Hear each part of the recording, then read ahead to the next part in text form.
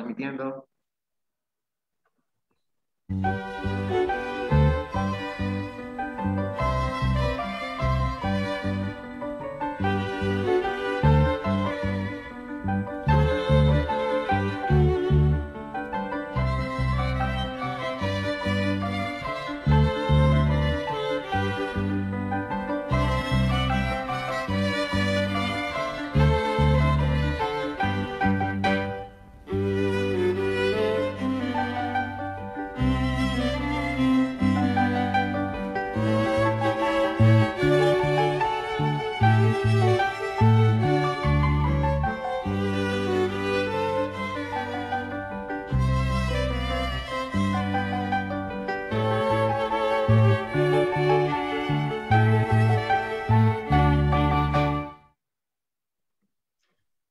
Están? Buenas tardes.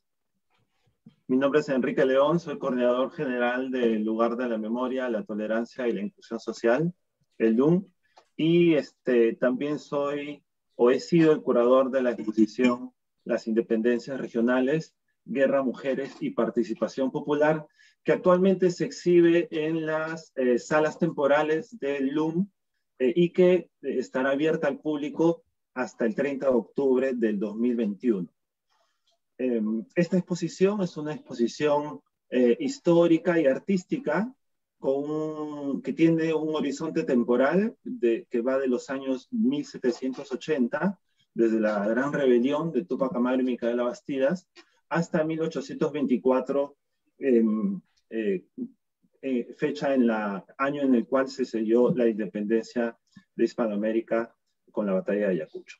Esta muestra es una muestra colectiva, participan 24 artistas de 10 regiones del país con, con obras, eh, con distintos eh, eh, tipos de obras comisionadas en diferentes técnicas. Tenemos óleos, bordados, tablas de sarro, grabados, silografía, imaginería, arpillería, entre otras. la exposición ha sido posible gracias al apoyo, em, al gran apoyo en realidad del proyecto especial bicentenario y eh, al aporte eh, significativo de un comité académico compuesto eh, por historiadores peruanos que apoyaron en todo momento. Entre ellos, o, quisiera mencionar a todos, Ivette Arias, Víctor Arrambide, Marisa Bazán, Victoria Diegues, Juan Carlos Estensoro, Elizabeth Hernández, Cecilia Méndez, Gustavo Montoya, el coordinador, Margaret Najarro, Nelson Pereira, Marilena Príncipe y Natalia Sorevilla. A ellos nuestro agradecimiento eterno. Em, cuatro de los artistas que han participado en la, exposición nos acompañan esta tarde, esta tarde de diálogo em, que, em, este, que se desarrolla en una sala Zoom con, con, con personas presentes, pero que se está transmitiendo también a través del Facebook del lugar de la memoria. Em, ellos son este, Jorge Luis Chamorro, eh, Violeta Quispe, Kelly Alfaro y Luis Portilla, cada uno de una región distinta. La exposición, em, como decimos en, parte del, del, texto curatorial, surgió en conmemoración del Bicentenario Patrio, con el fin de poner em, de relieve el protagonismo de las regiones eh, el papel poco eh, conocido de las mujeres y la singular eh, participación popular en el proceso de la independencia nacional. Entonces, para conversar un poco de, sus obras y del proceso creativo que, el cual atravesaron estos cuatro artistas que nos acompañan hoy, este, vamos a, a desarrollar este diálogo. Entonces, eh, vamos a comenzar eh, presentando a Kelly Alfaro. Kelly Alfaro, eh, voy a presentar cada vez que, participen para tener una mejor idea de quién nos va a, a, acompañar. Kelly Alfaro Montoya es de Cajamarca, nació en 1985, es ingeniera economista por la Universidad Nacional de Ingeniería, la UNI. Es especialista en economía ambiental y género, con estudios de maestría en economía agraria y ambiental por la Pontificia Universidad Católica de Chile y maestría en Desarrollo Ambiental por la Universidad Católica del Perú. Es una artista autodidacta, eh, utilizando métodos como el diseño gráfico, el bordado, eh, la pintura y la escultura. Su trabajo artístico lo empezó a mostrar en el proyecto visual Las Malcriadas, con piezas gráficas sobre biografía de mujeres que transformaron positivamente nuestro país. Ha participado en diferentes exposiciones la más reciente en el Centro Cultural de España en el marco de la muestra Emancipadas. Es fundadora y colaboradora en actividades de incidencia social referidas a la sostenibilidad, de educación y de género. Kelly Alfaro tiene dos obras em, este, en la exposición.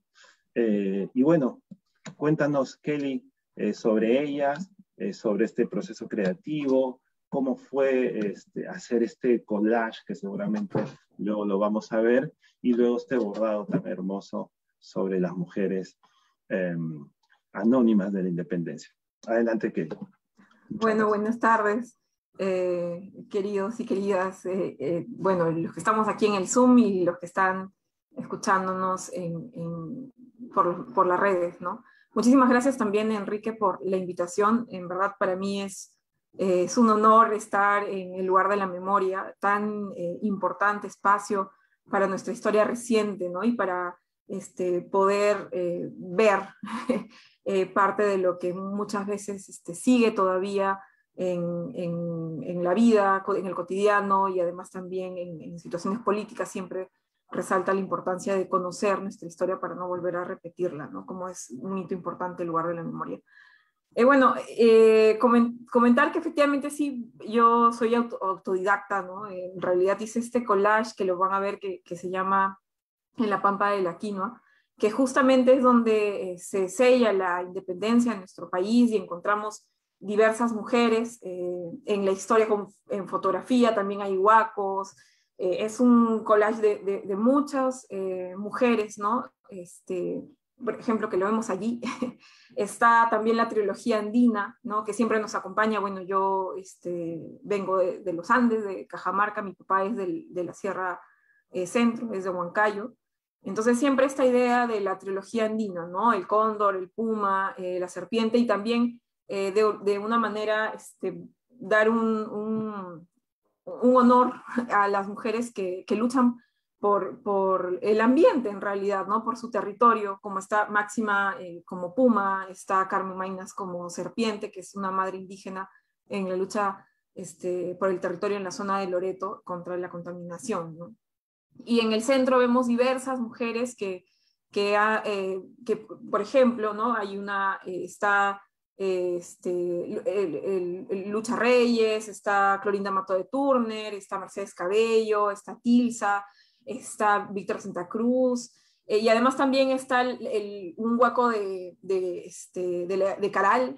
Entonces hay diferentes mujeres eh, este, que representan un poco lo que supone con esta frase de todos los días luchamos por nuestra independencia, ¿no? de que en realidad eh, hay tantas mujeres que han trabajado en en, positivamente para los derechos que actualmente tenemos y que esto es como un recordaris patriótico de lo que este, supone también para los derechos eh, actualmente para nosotras, las mujeres. ¿no? Eh, la idea también es que se enmarca en un, en un retablo ¿no? ayacuchano, justamente en la pampa de la, de la, de la quinoa, y también está esta idea de los... Los, eh, esto, que le daban la, gran orden del sol, ¿no? que se le dio a las mujeres que ayudaron y colaboraron con la independencia. Algo que me llamó mucho la atención en esto de la Orden del Sol es que cuando revisamos la lista de mujeres, este, muchas de ellas eh, efectivamente eran eh, mestizas, mm, hay tantas anónimas que es como que el, enlace con la otra obra, ¿no? Tantas mujeres anónimas eh, que dieron su vida, este, pusieron el cuerpo literalmente, ¿no? Porque fueron por ejemplo, esta marcha de sacrificio, ¿no? donde mueren en el camino, este, Cecilia Tupac Amaru, Micaela Bastidas fueron torturadas, hubo un enseñamiento sobre el cuerpo. Entonces, eh, también era poner a propósito estas eh, imágenes de la, de la condecoración de, la Orden del Sol a las mujeres que apostaron y, lucharon y, estuvieron a favor de la independencia, pero que cuando uno ve la lista de nombres, eh, no vemos, no, vemos este, las mujeres andinas, ¿no? o de origen andino, el, apellido este, no, no, mestizo, si queremos verlo así. ¿no? Entonces, también era poner eso, eh, me imaginaba cómo sería el rostro de esas mujeres, cómo eh, este retablo podría decir no solo a las que lucharon por la independencia, sino a las que siguen o, las que hicieron o siguieron luchando a favor de también otras independencias como el derecho al voto, ¿no? Y, y, está, por ejemplo, María Jesús Alvarado, el derecho a la educación, está María Trinidad Enríquez, que fue la primera universitaria en, nuestro país, ¿no? Cuando todavía, eh, por ejemplo, la ley, en, la reforma universitaria de 1916 fue importante que se escriba no solo este, el acceso a la universidad, sino además también que las mujeres puedan estudiar para trabajar. O sea, esos pequeños detalles que ahora nosotros asumimos, nosotras, asumimos como ya eh, ganados, en realidad tienen una historia, ¿no? Y tienen un rostro. Entonces, es, esta idea también, por ejemplo, del sol y la luna, ¿no? Que está este, Tupac Amaru y Micaela Bastidas, y Micaela le puse la mejilla con, el, con, con, la, eh, como un rastro de la eh, de, Latinoamérica, ¿no? Entonces, como está ahí, hay varios eh, significados que, que suponen la, esta frase que es todos los días luchamos por nuestra independencia, ¿no? Aún eh, también, por ejemplo, me hace ruido, justo ahorita hablando de todos los días luchamos por nuestra independencia, hace dos días atrás, me parece, o no sé si fue ayer, este, que una mujer ha, ha muerto por practicarse un aborto clandestino, ¿no? Entonces, ¿qué, ¿qué, independencia estamos? O sea, seguimos luchando por nuestros derechos, por nuestra independencia, por la posibilidad de decidir. Entonces, es un poco de recordar que hay historias, hay rostros, y además también eh, mujeres eh, afroperuanas, mujeres indígenas, mujeres eh, también em, de, de, origen, por ejemplo, una, una María Reich, ¿no? Que, que, no nace en el Perú, pero que, que finalmente este, trabaja por, por, lo que supone también recoger nuestra historia, ¿no? y como ella decía, dígame chola, ¿no? y lo que supone también eso, eh, Tilsa, ¿no? De, de, un origen asiático, es como poner todo este mix, hasta pinturas, ¿no? De Sabogal con representación de la mujer. Eh, este mix de, de, mujeres que suponen eh, el, el, ejercicio actual de derechos y que también es un llamado a seguir conquistando más, más, más derechos para nosotras, ¿no? luego el, el, bordado, ¿no? que es un poco las mujeres anónimas de, la, eh, bueno, de, lo que supone nuestra independencia, lo que traté eh, de presentar ¿no? es este, dos mujeres, en realidad hay una como que está de costadito y otra mirando de frente. Eh, es un bordado grande, ¿no? de 1,60 este, 60, me parece, por, por 97. allí la, la, idea era como imaginar estos rostros, ¿no? este, este cuerpo, eh, y, de los hilos del cuerpo salen los nombres de las mujeres que suponen esta, esta gesta de la independencia. Está Micaela Bastidas, está Rosa este, Condorcanqui, Cleo Ferramos, ¿no? que siempre es como la, la este, Cleo Ferramos Toledo, que fue la esposa, eh, y luego las hijas también, Francisca, María Valdizán, eh, es como que salen del cuerpo, ¿no? Esta idea de, un cuerpo que, teje la historia, que se entrelaza y se mezcla y, además también sigue, eh, por ejemplo, la, idea de, la flor de la cantuta en, la mano también, ¿no? Para recordar eh, también lo que supone este, la historia y finalmente estamos en, el LUM, ¿no? Lo que, lo que pasó en la cantuta y también nuestra flor nacional, ¿no? hermosa la palabra Kashkaniragmi como sigo siendo en, la mano, y justamente de Kashkaniragmi sale un hilito que va hacia lo último de los nombres que este, dice nosotras, ¿no? Como todo este grupo, de, esta maraña de, hilos, de mujeres, de, nombres, y finalmente nosotras, es como, es el tejido también de, nuestra historia, ¿no?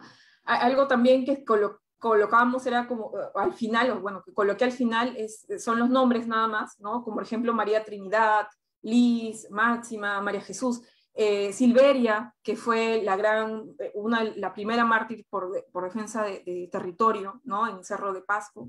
Entonces es como los, María, Elena Moyano, ¿no? como faltan los apellidos, pero la idea es como que las, las que este, fueron nuestras grandes héroes para la independencia, mujeres que dieron su cuerpo, su vida para, para, para, ello. También tejen la historia de quienes suponen, por ejemplo, Mercedes Cabello, Clorinda Mato de Turne, María Jesús Alvarado, eh, María Trinidad Enríquez, la primera mujer que estudió en el país. es como que es una misma historia para derechos y termina como una lógica de nosotras. ¿no? Y, igual con la misma frase que es como la, el comunicado o el vaso comunicante con, con, lo anterior, que es todos los días luchamos por nuestra independencia.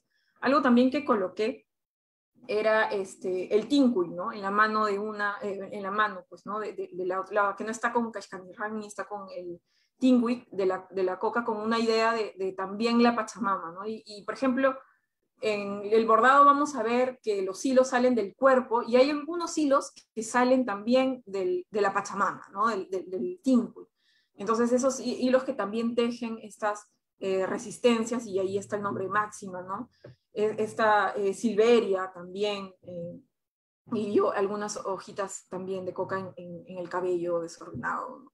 Y finalmente, al, al final hay una, un, un, una este, telita, ¿no? Este, un saquito así dobladito, eh, con, con, hojitas de coca donde, va, donde caen también las, los hilos, ¿no? Y es un poco también el, el lenguaje o la idea de, de que somos eh, de la tierra, ¿no? Y que, como que esa historia también se teje en territorios y, también en, el tema del, cuidado que supone este, a la tierra. Muy bien, Kelly. Luego vamos a tener una segunda intervención para conversar un poquito de estas obras. Gracias, gracias. Muy bien, ahora este, eh, tenemos la participación de Jorge Luis Chamorro. Eh, Jorge Luis Chamorro es de Lima, es artista audiovisual e interactivo, narrador y poeta obtuvo los premios Humboldt en 2003 del Goethe Institute de Alemania en Perú y Pasaporte para un Artista en 2007 de la Embajada de Francia en Perú, ambos en los rubros de videoarte.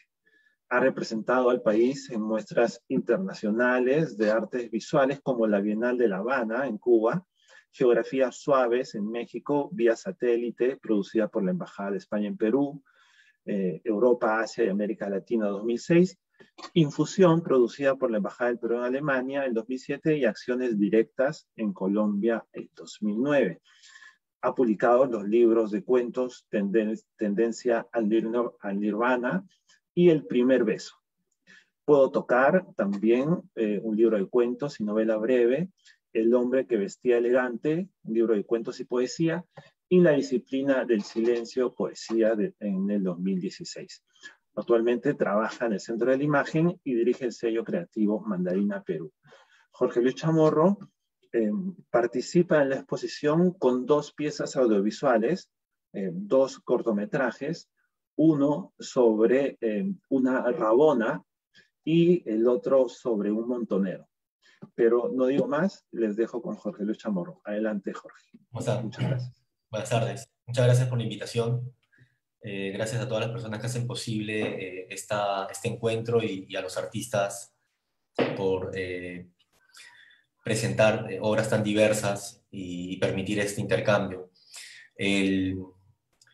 Yo me circunscribí al periodo entre 1821 y 1824 y traté de darle vida a la figura de la Rabona y el Montonero, para ello tuve eh, la asistencia de un equipo que me permitió eh, de alguna manera eh, establecer ese, ese, ese perfil, el biotipo de, de, estas personas, hombres, mujeres que, que fueron importantes para el proceso de independencia del Perú, que como, como bien se comentó, es un proceso que creo que en el que estamos hasta el día de hoy, ¿no? Eh, tratando día a día de, de, ser independientes. Eh, yo partí de, referencias que el curador y, el historiador eh, establecieron y, también fue parte de la investigación que, como estamos eh, apreciando, eh, eran pictóricas. Eh, y que me daban ciertas pistas de, cómo darle vida a, estos personajes importantes, pero que no eran tan difundidos en los libros de historia, al menos en los que nos encontrábamos en los colegios. Teníamos a, partir de la pintura algunas referencias, pero que para mí no, no, no, no, me llenaban y satisfacían para establecer y darle vida en, en, película a estos personajes importantes, ¿no? Entonces, eh, luego de la investigación, eh, primero de, del vestuario, ¿no? O sea, cómo, cómo, cómo vestían, cómo hablaban, ¿no? Eh, hablaban solo quechua o un quechua con castellano, y dependiendo de la región, yo me establecí en la Sierra de Lima, ¿no? Entonces, eh, poco a poco, eh, con el equipo empezamos a, establecer el, vestuario, ¿no? Y, y, aquí hay algo interesante, ¿no? Porque eh, mandamos a hacer el vestuario, ¿no? la dirección de arte estuvo con, a cargo de Gisela Ramírez y la asistencia de Camila Mora, la fotografía con Andrés Mego, la música con Cristian eh, Villegas y Cecilia Redman, me permitió ya establecer cómo se veían y, cómo eh, finalmente eh, los iba a llevar a escena, ¿no? Y, encontré cosas interesantes, como por ejemplo a Freddy Montesa como actor, eh, un actor que es casi de todas las sangres, ¿no? Un actor que, tiene mucho de, un rastro de, origen eh, de la selva, con un poco andino y, un atisbo de, costa, ¿no? Es como que tiene de todas las sangres, ¿no? Eh, este actor hizo un casting muy, muy específico, ¿no? Y di con Freddy Montesa, eh, y él, lo que, lo que pasaba con este personaje montonero es que, en primer lugar, él venía de, de, de, una batalla y venía eh, de ganar, ¿no? Venía eh, victorioso, pero mal herido. Y él iba a buscar un, un árbol donde guarecerse y fundirse con la tierra, ¿no? Él no tenía ningún sentimiento de derrota, sino era un ganador. Eh, eh, venía victorioso, pero quería eh, fundirse con la tierra, y, es por eso que la escena de él es de un hombre que yace al pie de un árbol en la Sierra de Lima y va a fallecer. En el caso de la Rabona, que es la pieza que voy a presentar, al menos un extracto, eh, luego del casting di con la actriz Isa Corso, ¿no? Eh, una actriz que también, eh, aquí sí, digamos, con, con, ella fue un poco, un poco más trabajoso, ¿no?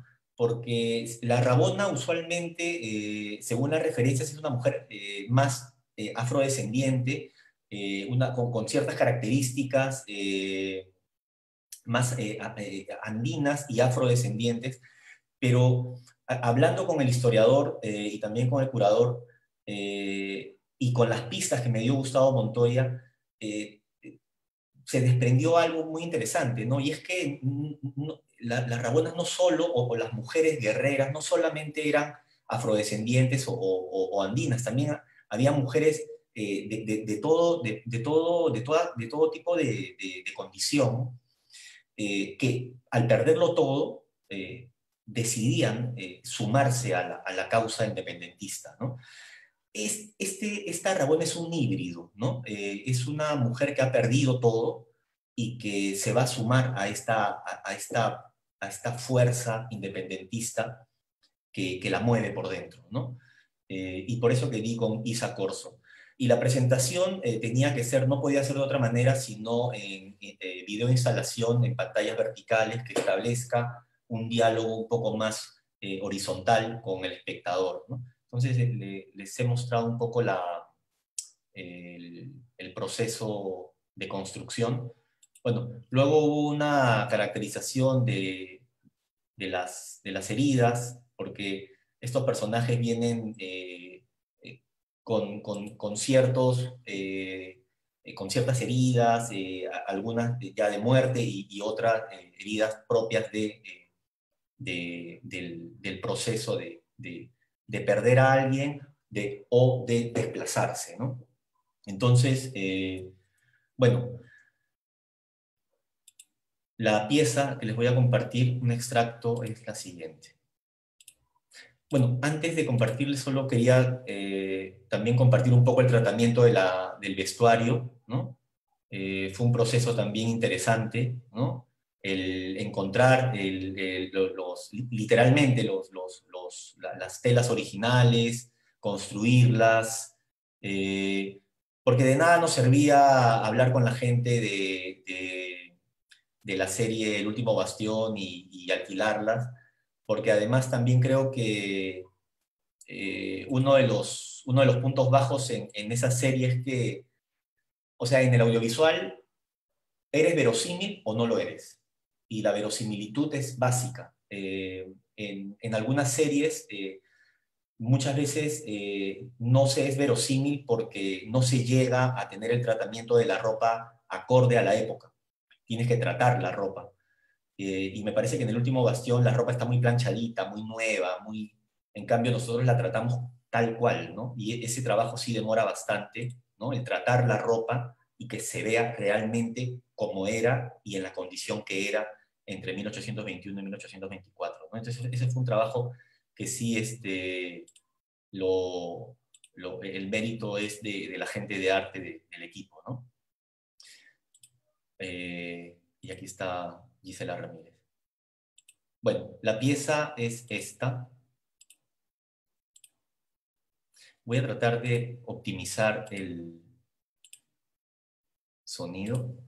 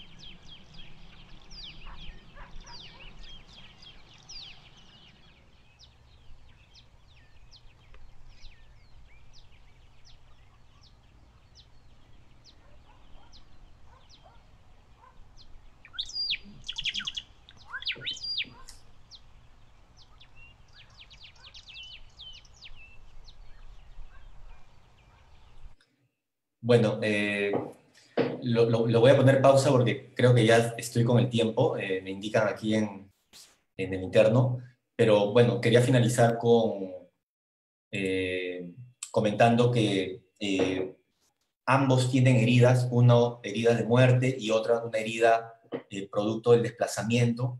Y esta Rabona, pues, eh, es una mujer fuerte que se va a pelear, ¿no? a, unirse a la, al, al, ejército independentista.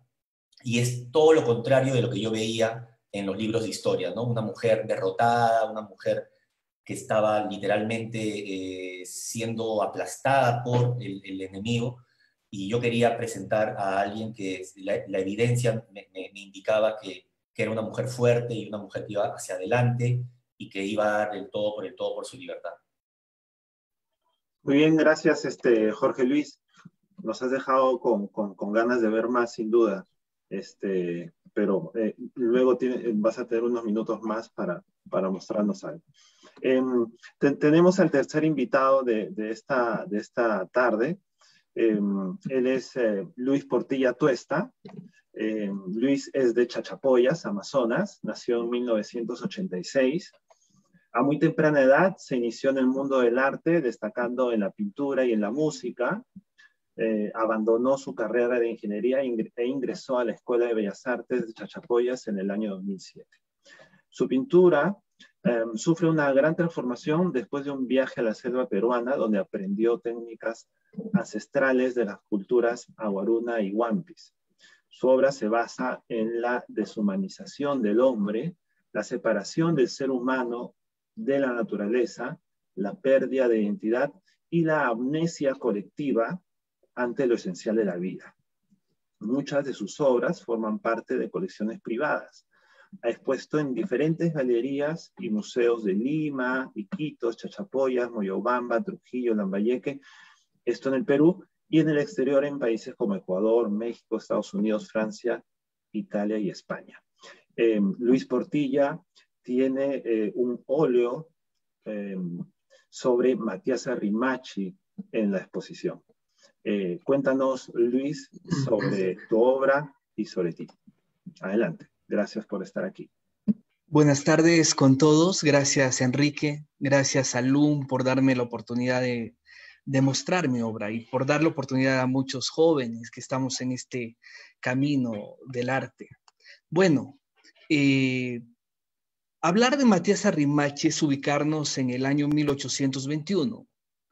Eh, hay que ubicarnos en la parte de Chachapoyas, donde se dio una batalla que se llamó la primera batalla de Surco, donde hubo la participación del pueblo, la participación de la gente y donde una mujer eh, que sigue todavía desconocida, que no se han encontrado todavía archivos que digan que, existió, es, pero se ha transmitido a través de la parte oral.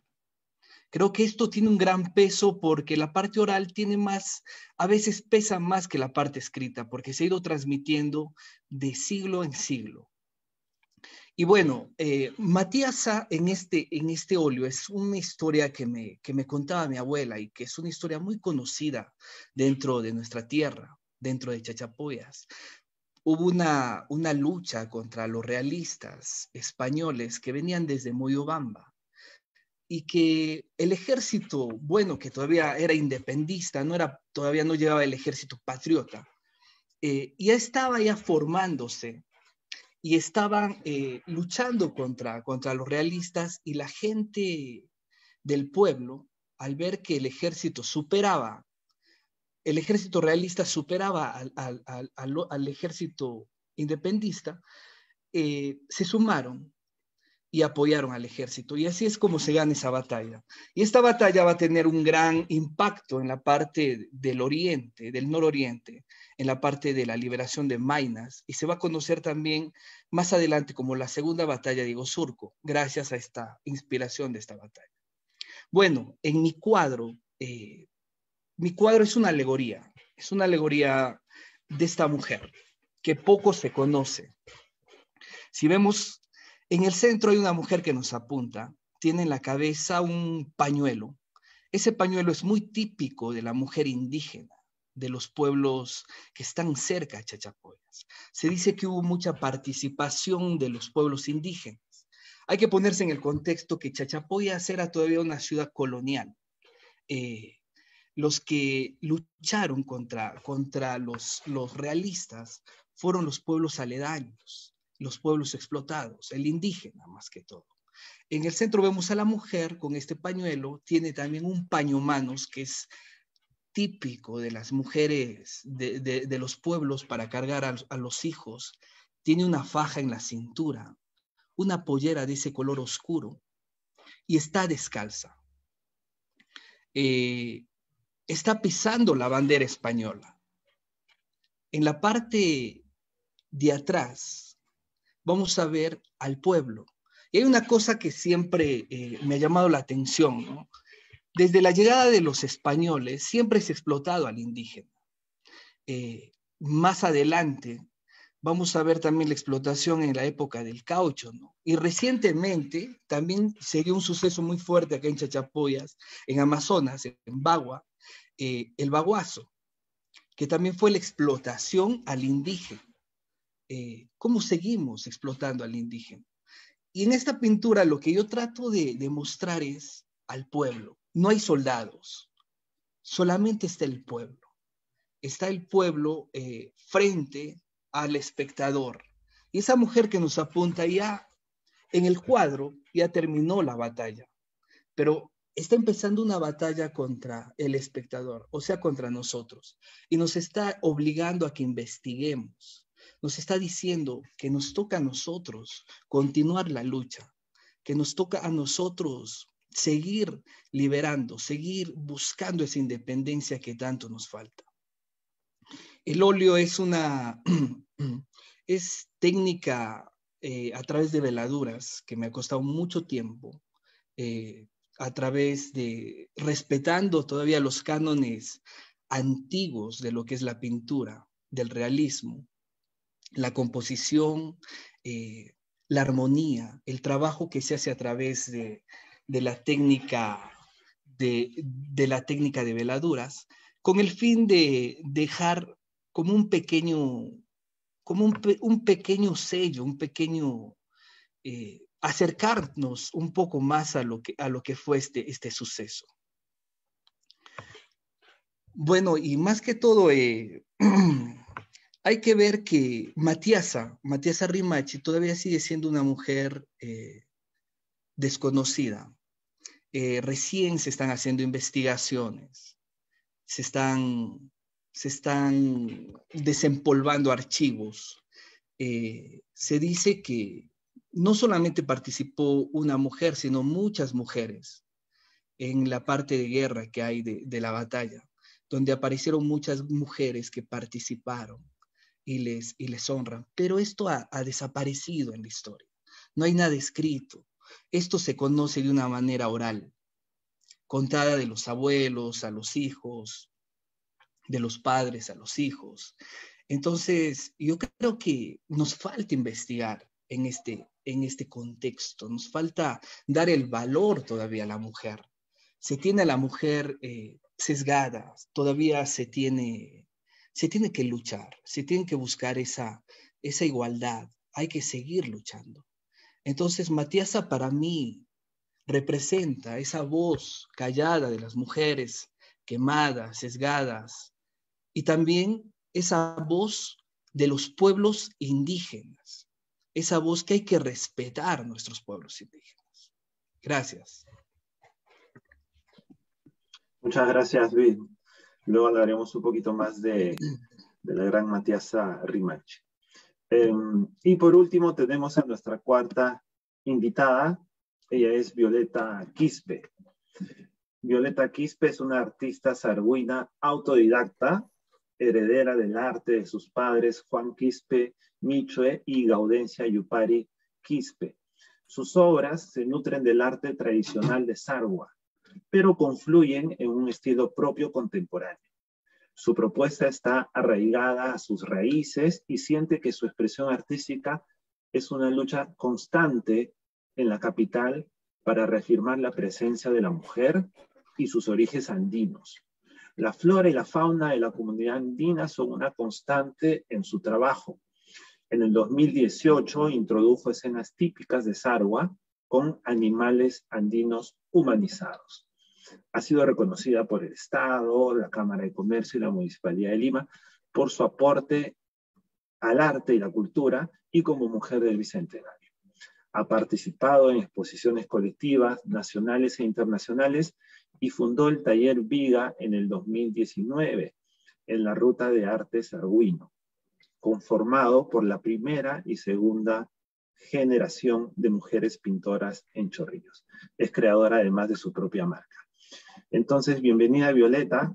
Eh, sabemos que estás en el Cusco ahora, así que eh, buenas tardes, adelante. Bueno, buenas tardes. Ñojai, Violeta, Quispe, Caipicani, Ancha, Cusisja, Hankunagua. Bueno, mi nombre es Violeta Quispe Yupari. Eh, estoy muy contenta de poder compartir este espacio junto con ustedes. Agradezco la invitación por parte del Museo de la Memoria, al curador Enrique León, al señor Manuel Burga, y felicito a todos y todas mis compañeras que nos están acompañando en esta linda muestra que eh, todo partió como una invitación desde, el mes de marzo eh, por la invitación del curador. Me, gustó mucho la, participación y ese intercambio que hemos tenido junto con la muestra porque fue muy valiosa, muy enriquecedora. No he trabajado hasta hoy en día con un curador que ha estado trabajando de la mano junto conmigo. Me brindó la propuesta eh, y justamente era de, eh, de, este personaje que era líder, ¿no? Basilio Auqui, de, la, de los morochucos, ¿no? Que era líder de los montoneros en, eh, en el sector, en, el, en la región de Ayacucho. Y bueno, yo partí desde ahí y, y quise presentar una, una, propuesta nueva, algo innovador, eh, un poco alejándome, no de mi tradición, porque sigo eh, con la práctica, con la técnica de, de, las tablas pintadas de Sarwa, pero desde una visión como una trilogía, son tres escenas y están este, de forma horizontal. Eh, como dije, la técnica está basada en este legado que heredados, que es el patrimonio cultural y material de la nación, por las tablas pintadas de Sarwa. Pero quise en ese entonces, como es la propuesta de las, independencia, eh, de las independencias regionales, guerra, mujeres y participación popular, que fue muy interesante para poder mostrar aquellas mujeres que no son visibilizadas como lo es el arte tradicional de Sarwa como era antes, que las mujeres no podíamos firmar en, un tablón tradicional con nombre propio, y eran más visibilizados los varones. En esta muestra eh, plasmo eh, de forma horizontal un maderón de cedro y quise plasmar primero a, esta deidad eh, femenina que es la mamaquilla, nuestra madre luna, que es muy arraigada a nuestra tradición de las tablas pintadas de Sarwa. Siempre en cada tabla de Sarwa está eh, un poco la introducción escrita en qué nos basamos por parte de la historia para poder hacer este, una representación o plasmar una historia. Plasmo acá, en la primera escena a, la labor de la mujer, como entre comillas siempre lo dice, la labor menor, que es a la mujer participando en apoyar al esposo, al hijo, al hermano, brindándole un vaso de agua eh, al esposo que han venido de, la, de, las, de las peleas, de la lucha constante que han estado luchando por la independencia, curando sus heridas. ¿Qué mujer, qué madre, qué hermana, qué hija eh, no se ha sentido identificada con esta lucha? Y las muestro ahí, eh, siempre constante con su apoyo a sus esposos, a su familia, a sus seres queridos. Eh, uno de ellos está que le limpia eh, las heridas de la lucha, le están pasando un vaso de agua. Como siempre se reconoce como una labor menor de la mujer, pero es una, hay que visibilizar de que esto es un trabajo, esto es algo importante que las mujeres es contribución para la familia, para la sociedad. En la segunda escena plasmo esta lucha en el campo de batalla. ¿no? Están estas mujeres eh, luchando, ya siendo parte de la lucha, pero que no hay un registro escrito que diga, han existido estas mujeres que han luchado en el campo de batalla, que yo estoy súper segura de que ellas han sido también parte de esta revolución, se podría decir. Pero si vemos ahí, vemos a esta mujer sobre el caballo y su esposo en el piso tendido, eh, ya, ya se muerto, y ella toma las riendas del liderazgo. ¿Por qué? Porque esa es, esa es como una visión que yo tengo, ¿por qué no una mujer quizás ha sido también líder de, de un enfrentamiento? ¿no? El esposo, justamente es esa esposa que le pasaba el vaso de agua al esposo en la primera escena, ve a su esposo caído y ella toma eh, las riendas y el liderazgo de este grupo armado, justo que también el, eh, ejército real está huyendo eh, de esta lucha, ¿no? Ahí veo la presencia de la mujer que está luchando junto con los esposos, con una equidad de presencia, justamente como se representa en este tablón de forma horizontal, una visión horizontal. En la última descripción está el Taita Inti, también porque es una, eh, un legado muy arraigado a nosotros, que es nuestro ser mitológico. Y también hay una descripción. Ahí quise dar una propuesta nueva de poder ponerle el nombre de los morochucos con, una, con un nuevo género, que es en mujeres, ¿no? Las morochucas, por eso mi obra se llama Las morochucas, y ahí tiene un poco eh, la reflexión que yo pude conseguir al, al, poder leer un poco más de la historia de este grupo, de estos montoneros que lucharon y lucharon por sus ideales de la independencia. En las crecas tradicionales vemos los colores simbólicos de las banderas nacional, que es este, el rojo y el blanco, y en el centro eh, vemos a estas manos entre mujeres y hombres que lucharon para romper las cadenas de los que ellos se sentían que no era justo, de su libertad, de su independencia. Y, y plasmo también ahí una eh, imagen muy pequeñita sobre la igualdad de género, ¿no? La participación de forma equitativa, la paridad, en su participación en esta lucha constante en la cual las mujeres no, se, no han sido visibilizadas, no hay un registro, como lo comenté desde el principio, ¿no? De ahí quiero partir con la última escena, que es la Guarmi Jurilazo, que es la última escena que yo la plasmo arriba como esta mujer visionaria, visionera, eh, heredera de estas mujeres luchadoras, montando el caballo. Quiero contarles que en la comunidad de Sarwa es muy, es muy poco visto que una mujer sea jinete. Por ejemplo, los meses de agosto siempre hay una competencia de caballería y solamente los varones eh, participan. Quizás porque las mujeres no se animan, el temor de romper esa brecha, esa tradición, eh, no, no, es, no es normal. Pero hay una comunidad que es el anexo de la comunidad de Sarwa, que es este, eh, en, en Tomanga, que hay mujeres que van y pastean sus animales, eh, son muy diestras montando el caballo. Y yo lo quise plasmar así, como una mujer sarwina, heredera de estas mujeres luchadoras que rompen con todas las brechas de la, de la no visibilización.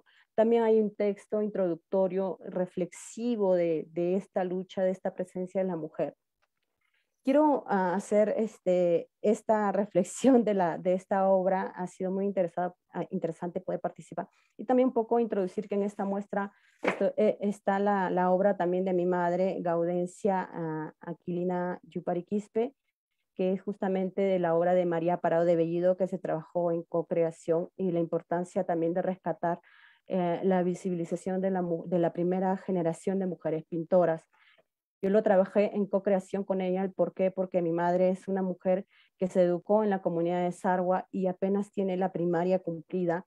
Ella no, no sabe leer de forma correcta y por eso lo hemos trabajado las dos juntas.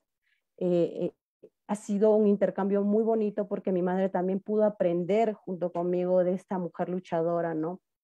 Que en la primera escena de esta obra se plasma a María Parada de Bellido en forma de Apu, rompiendo las cadenas. Y también de una forma cronológica la lucha y la, la lucha y la perseverancia de esta mujer que también luchó por sus ideales y por su familia. Bueno, este es mi aporte para la muestra. Agradecerle de todo corazón y muchas gracias. Muchas gracias, Violeta. Efectivamente, dentro de los 24 eh, artistas participantes en la exposición, está la mamá de, de Violeta, eh, la maestra Gaudencia Yupari, con una tabla tradicional eh, de Sarwa, este, vertical eh, sobre María para vivir. Eh, muy bien, hacemos una segunda pequeña ronda de, de tres, cuatro minutos, por favor, este, para mm, dialogar un poco con ustedes. en el caso de Kelly, Kelly, este collage que en la, en la exposición en el LUM como que está en, eh, en la parte externa de, de las salas, eh, porque queríamos dar ese, esa, esa idea, ¿no? Que no es, no es propiamente, no habla propiamente de la, de la independencia de, patria, pero sí habla de la independencia de las mujeres. Nos pareció súper importante considerarlo. Esta, este collage mide 2 metros 20 por 1 por 1,20 eh, y reúne, como tú lo has dicho, a mujeres que lucharon y luchan por sus derechos.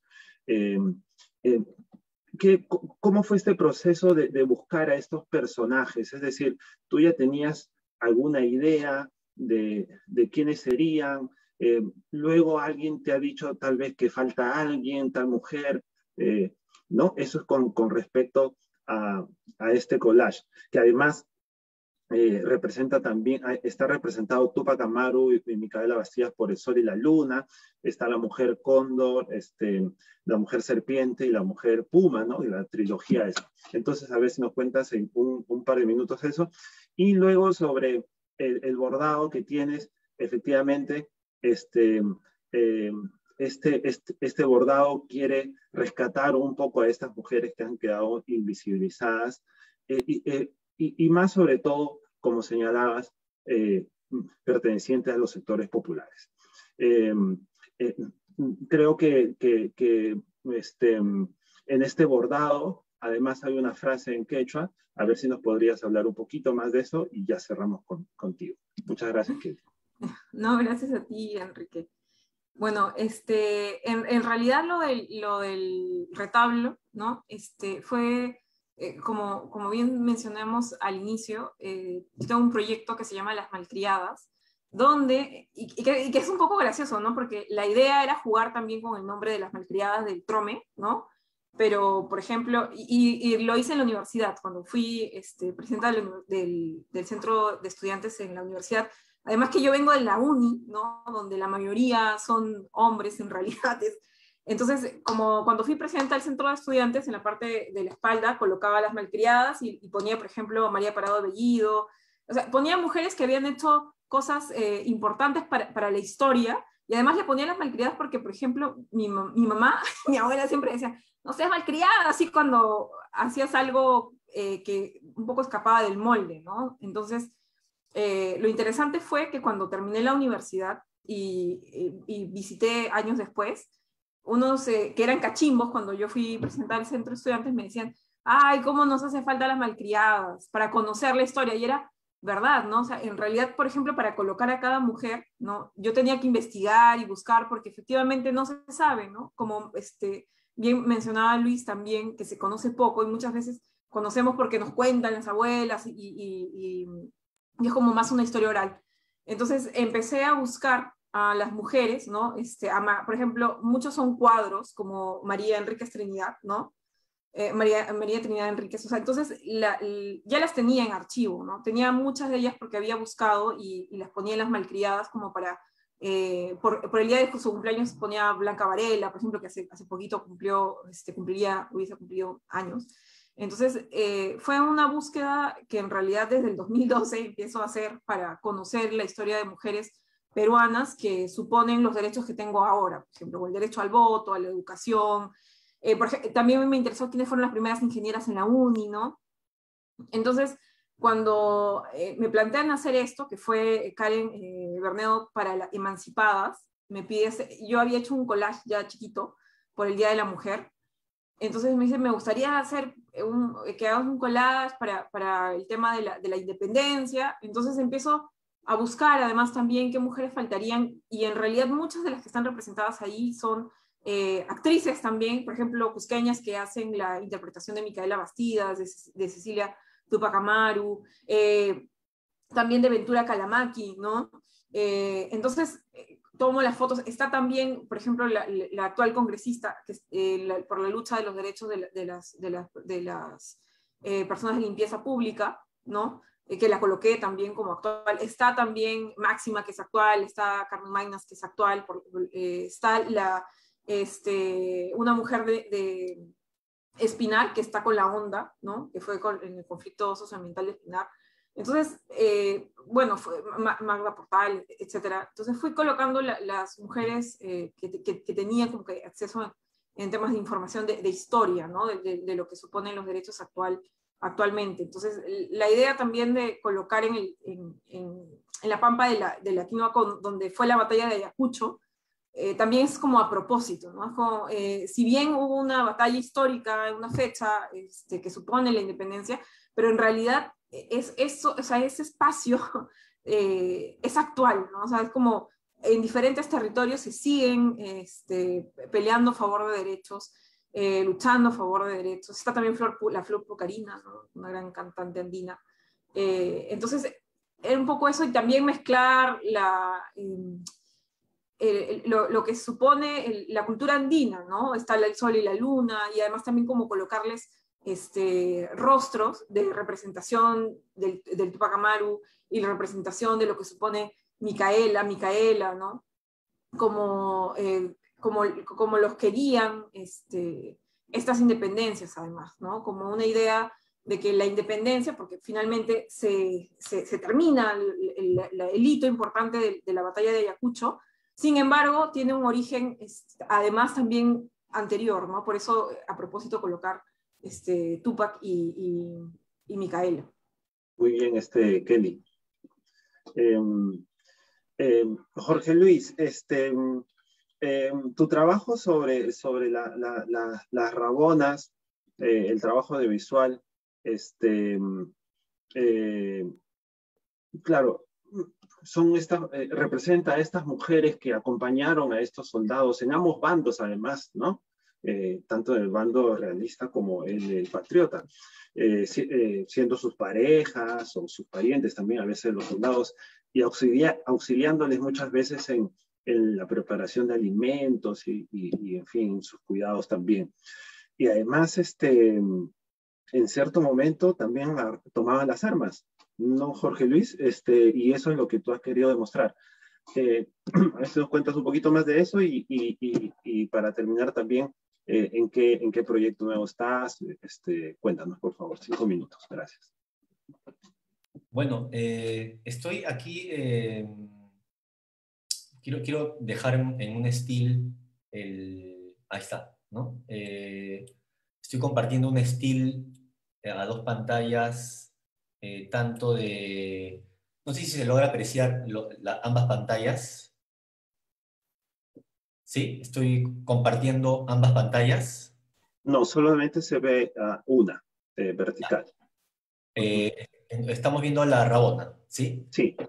Bueno, eh, tanto el montonero como la rabona, eh, el montonero se llama Hipólito y la rabona se llama Victoria. Eh, están circunscritos, como mencioné, eh, ellos están ubicados en la Sierra de Lima.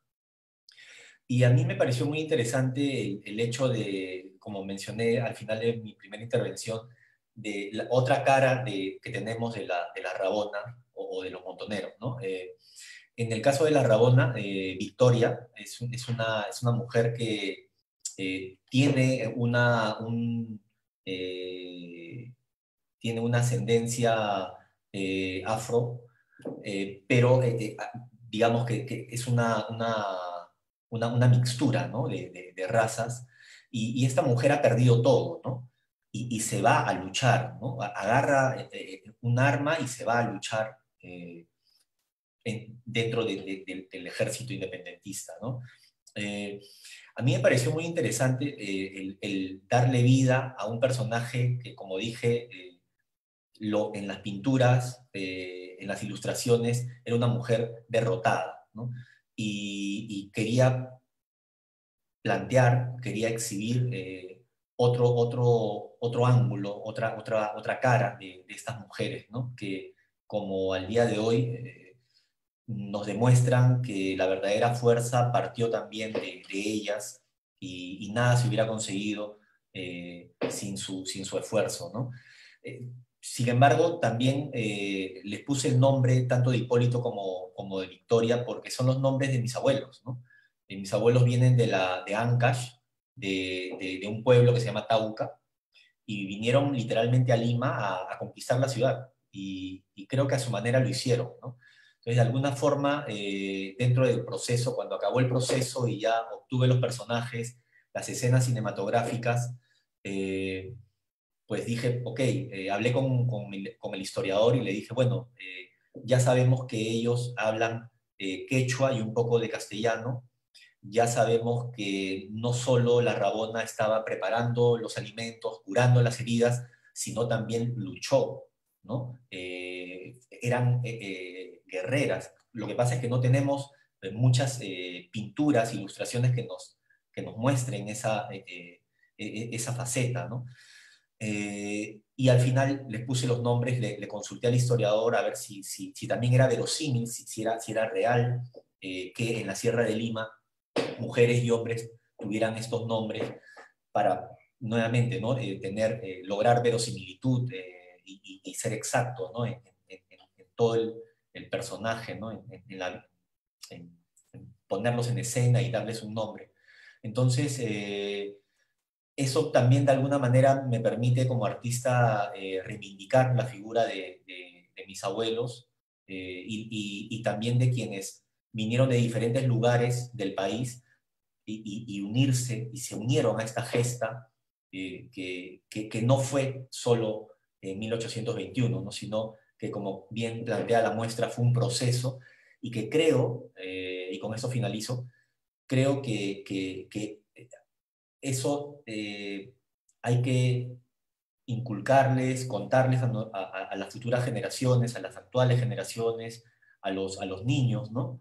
Que, que, fue un proceso que tuvo muchos protagonistas y que hay que visibilizarlos, ¿no? Y sobre todo las, las mujeres, ¿no? Eh, es por eso que eh, en esta, esos, estos dos trabajos me, han permitido también eh, visibilizar a estos personajes tan importantes de nuestra historia y creo yo que la muestra es una muestra bastante pedagógica, ¿no? Creo que esta exposición eh, hace pedagogía y va a permitir que el visitante, en todo, frente a todo este panorama de, de obras, se eduque mejor y se descentraliza información que, que, ha estado pues, eh, un poco restringida en los libros de historia, en los colegios, que creo que, que va a ser muy eh, fructífero, muy útil para, para el visitante, para el espectador, ¿no? Y, no solo presencial, ¿no? sino eh, va a haber una versión también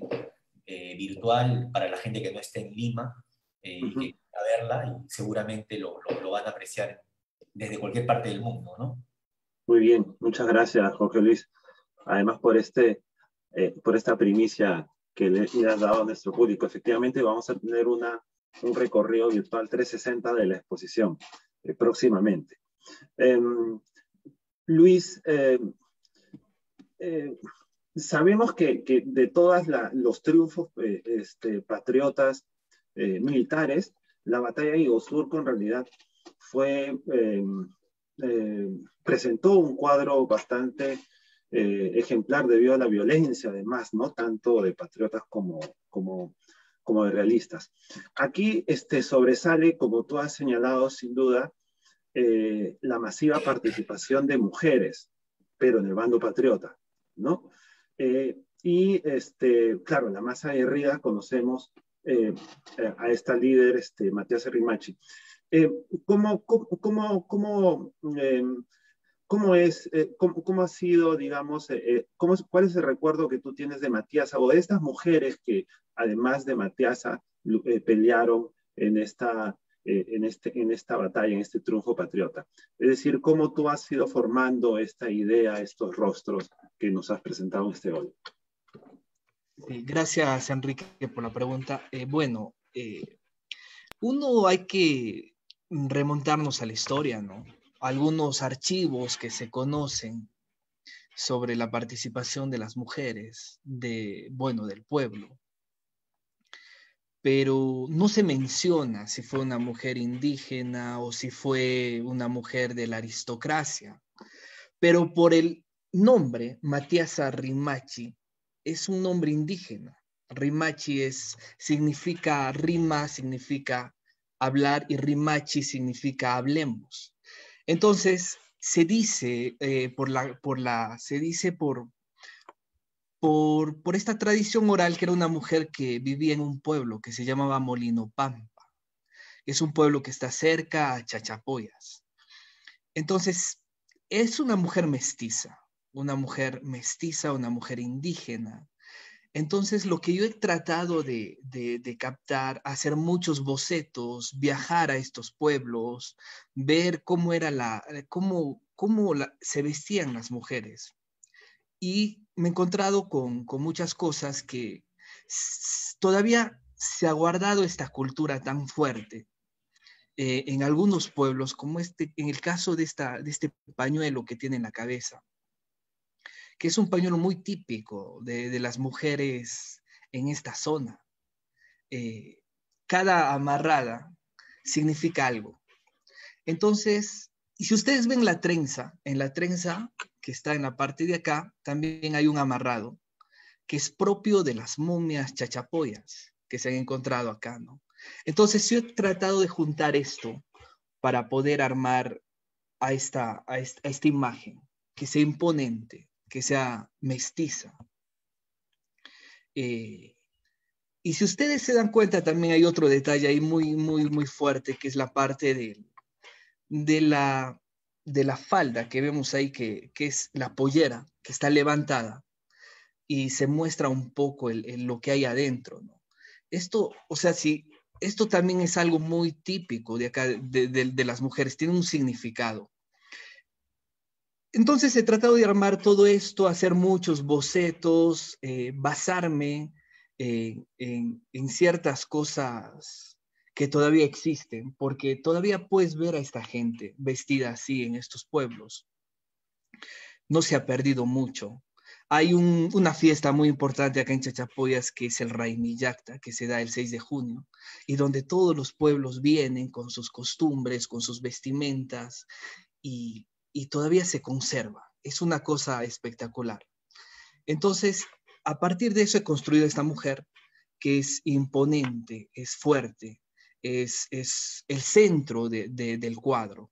Es una mujer que si nosotros nos movemos, está en un punto áureo en que si nos movemos nos va a seguir mirando, eh, nos va a seguir mirando y nos sigue cuestionando. Y yo creo, yo creo, Enrique, creo, creo que el arte es una herramienta muy fuerte, es una herramienta muy fuerte para educar. Creo que a través del arte podemos educar y a través del arte eh, podemos dejar una memoria viva para nuestras futuras generaciones. Gracias. Gracias, Luis. Mil gracias. Este, eh, Violeta, em, claro, cuando, cuando conversamos nosotros hace algunos meses para, para eh, em, eh, para ver tu participación en la exposición hablamos ¿no? de los morochucos y, y del gran Basilio Auki, que, que, sabemos que organizó un gran escuadrón de caballería ahí en Pampa Cangallo. Además que tenía como más de 70 años, ¿no? Creo que tenía 75 años. Este, a mí me, me, me gustó mucho la contrapropuesta que tú hiciste, es decir, sí, ok, este, ya, los morochucos, el Basilio Auki, pero también las morochucas, también el, el Warmi Coridazo, ¿no? La mujer jinete. Em, ¿Qué nos puedes decir eh, sobre ese, esa, esa contrapropuesta que tú hiciste de mostrar a esta mujer jinete, a la mujer que, que, que de ahora que también puede, este, digamos, este, practicar las mismas este, actividades que un varón? Este, sí me escuchan, ya. Este, sí, eh, justamente yo siempre voy eh, un poco en contra de generalizar los géneros, porque, ¿por qué? ¿Por qué te lo voy a decir? Te lo puedo explicar. Siempre cuando hablan de las tablas pintadas de Sarwa, hablan de los artesanos sarguinos. hablan de aquellos pioneros. Yo no, yo no, no es aquí una competencia de que la mujer quiere ser mejor que el varón. Siempre cuando uno trata de poner esta presencia de la mujer, eh, lo ponen de un sentido un poco machista, hay que decirlo, como una competencia y nosotros no estamos compitiendo, nosotros estamos exigiendo un espacio que nos merecemos en la sociedad por nuestra participación, que hasta el día de hoy la mujer trata de, ponerse, de, de expresarse libremente. En mi caso, yo soy una mujer, y siempre lo digo con mucho orgullo, soy mujer artista tradicional de las tablas pintadas de Sargo. Y lo digo con mucho orgullo porque justamente al inicio de la conversación estábamos compartiendo un poco de decir, las tablas pintadas de Sargua siempre en la dedicatoria de la parte final, cuando es entregada la tabla, dice, eh, esta tabla se la obsequia el compadre Juan de tal y esposa. No se visibiliza esa, eh, esa aporte de la mujer sarguina, de la mujer que, que, le cocina al pintor, de la mujer que quizás también consigue las pinturas, de la mujer que también quizás pone sus ideas para poder elaborar un trabajo. Es por eso que yo digo, ¿no? Eh, los morochucos está bien, los morochucos, pero se generalizan en los hombres, en los varones que han luchado en, este, en esta guerra por la independencia, en esta lucha por la independencia, pero que hay aquellas mujeres que han estado detrás de los morochucos, esas mujeres que no solamente han estado detrás de ellos, sino que a la par han estado luchando con ellos. Eh, no se visibiliza, justo como dicen muchos de mis compañeros, no hay un registro que diga eh, tal mujer, esposa o esposa de tal, o hija de tal, o mamá de tal, ha aportado en esta lucha, se inmoló por esto, porque no hay un registro. Hemos tenido eh, lamentablemente una cultura muy machista en el cual se ha visto muy opacada la presencia de la mujer. Y por eso yo dije, no, yo, yo voy a plasmar el pasado y voy a dar una propuesta del futuro, del presente que hoy se vive, en el cual yo estoy siendo parte. Por eso eh, esta es la presencia del trabajo, entre comillas, lo digo siempre débil, porque yo sí me pongo un poco a veces decir las labores domésticas, no las hago, no me gustan realizarlas, y así que yo sí considero que es una labor fuerte de que todas las mujeres hoy en día aportan en las familias y también en el campo de batalla, en el campo de batalla, eh, este, ejerciendo la fuerza que ellas tienen para poder defender a los suyos. Y una parte visionaria donde está la mujer heredera de esa sangre yacuchana, porque ustedes saben que no solamente lo de Sargua se queda en Sargua, sino que ya somos una, una mezcla maravillosa, somos una, una raza pluricultural, este, con multiculturalidades hermosísimas, y ahí está eh, esta mujer, ¿no? Que es también parte del anexo de la comunidad de Sarwa, pero es la Jorilazo, las mujeres tomanguinas que también son sarguinas y que también significan como un ejemplo para mí de decir por qué no las mujeres también pueden ser jinetes eh, en la misma comunidad de Sarwa, pero las hay, hay sarguinas jinetes que, eh, pastorean y son muy diestras para poder dominar a, los animales, ¿no?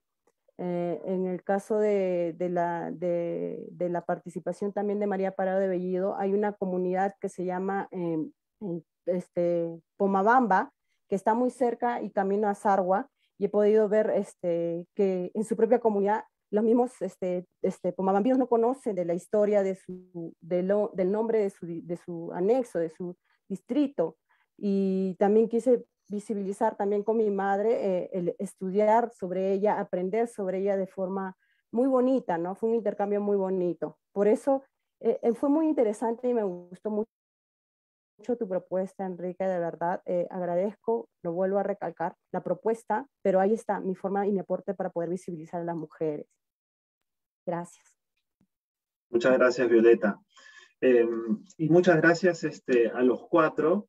Em, Muchas gracias Kelly Alfaro de Cajamarca, eh, Jorge Luis Chamorro de Lima, Luis Portilla de Amazonas y Violeta Quispe de Ayacucho, pero que actualmente eh, en estos momentos está en el Cusco. Muchas gracias por su participación. Eh, ustedes son cuatro en realidad de los 24 artistas que forman parte de la eh, exposición Las Independencias Regionales, Guerra, Mujeres y Participación Popular. Son 24 artistas de 10 regiones. En la muestra, eh, ya para invitarles un poco al público, la muestra reúne más de 50 piezas de arte. En realidad reúne historia, arte y las reflexiones de un comité académico em, eh, y la labor sin duda de artistas que representan e interpretan rostros, hechos, sentires y pesares de una época de confusión, de avances y de retroceso también a favor del separatismo y la independencia. Así que todos están muy invitados. Eh, el LUM está abierto de martes a domingo de 10 de la mañana a 5 de la tarde, mantenemos el aforo del 50%, por lo que es necesario reservar un turno mediante un llenado de un formulario que lo tienen en la página web, bastante sencillo en realidad. Y este, eh, quiero mencionarles además que eh, si asisten eh, actualmente a, a, LUM, pueden ver también la exposición, la exposición, aparte de esta exposición temporal, por supuesto, la muestra permanente que exhibe eh, los hechos eh, eh, de violencia de 1980 a 2000 y cómo afectaron estos a los peruanos. También en la explanada del LUN tenemos la exposición en nuestras manos, Superemos Juntos la Pandemia, que la organizamos con PCM, que reúne más de 70 imágenes este, y también eh, en, cuyo, en cuyo centro se, se, alza un cenotafio, una chulpa memorial para el depósito de ofrendas en, recuerdo de los, eh, de los fallecidos por, por la COVID-19. Este, bueno, síganos en nuestras redes sociales eh, para ver nuestras actividades y nuevamente muchas gracias a nuestros invitados y muchas gracias a todos por su participación. Buenas noches. Gracias. Gracias. Muchas gracias. Hasta luego.